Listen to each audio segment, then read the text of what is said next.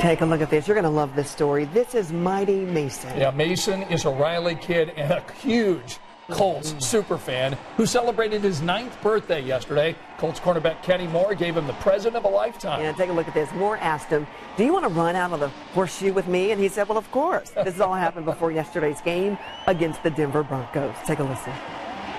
He said he was excited. He doesn't really express it that much, but that's fine because I'm the same way. But uh, that was a gift to him, and uh, I'm not sure if any kids have ever done that, but um, I don't know. That just turned me up whenever he came out there running with me. So uh, he means a lot to me.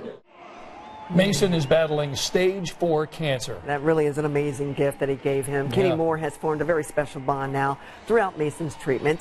And Mighty Mason, he beat cancer once, but we just learned, unfortunately, the cancer is back. But we're going to be praying that he is going to be a two time cancer survivor. He's got a lot of people A lot of praying people for praying him, for him. including Oh, Kenny yeah, Moore and a lot of the other Colts. You know,